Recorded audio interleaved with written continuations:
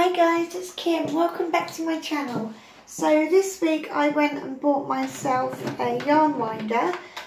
So I'm just going to show you how to assemble it and how to wind your yarn and then I'm going to give it a mark out of 10. So firstly you just want to put it on your table and tighten it up with this do it quite tight because you don't want it flying off your table. And then you just align those bits and just twist it on.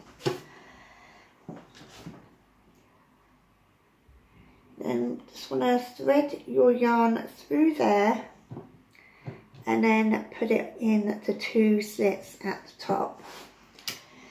I usually just stick it down with a bit of sticky tape so it doesn't come out and then you're ready to wind your yarn.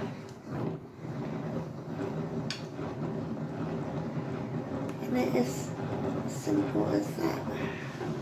Now over the past few days I have wound about 60 of these and they are just the the ones you get from China they're 50 gram balls and they're bamboo cotton.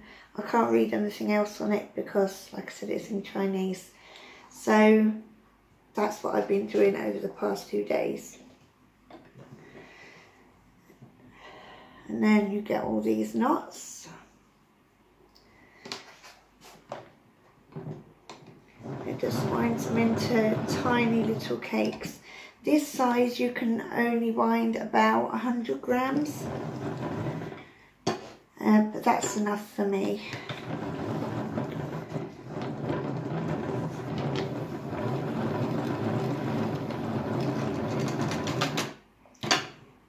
This keeps coming out. You just want to keep your hand on the yarn like this just to give it a little bit of tension just so it doesn't wind too loosely.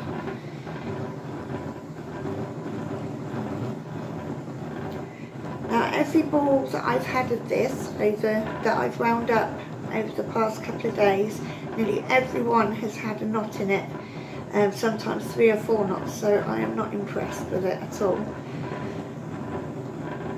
The yarn that is, not the winder.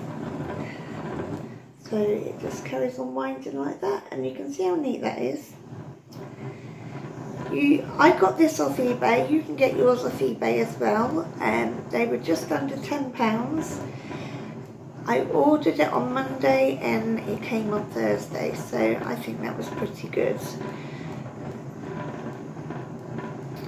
Uh, markings out of 10, I would give it a 7 out of 10. The reason being for that is because sometimes you're winding and this bit here comes flying off.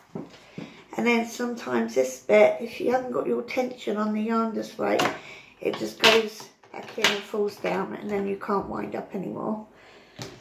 And then sometimes if you stop winding and you're not in the right place and you like like that, it will wind everything at the bottom and, and you don't want that. And then you've just got to try and align it again, which is a bit of a but apart from those things I just mentioned, I absolutely love it. Um, I've been going around my yarn stash the past couple of days just seeing what yarn I can wind into cakes.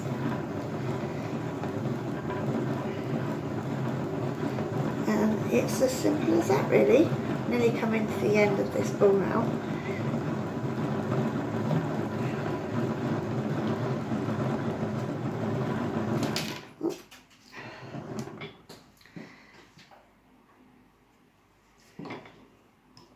Right, so I'm going to just leave it there. And to lift off, I just take this, take this tape off. You see you've got your tail end and you just want to lift it off as so. And then you've got a centre pole on your cakes. I also find, because now they're wound into cakes, you can store a lot more of them in the same place. So that is it. Thank you for watching this video. Um, please subscribe if you haven't done already. And I would just like to say a big thank you to those of you that have subscribed this week. Thank you. Bye.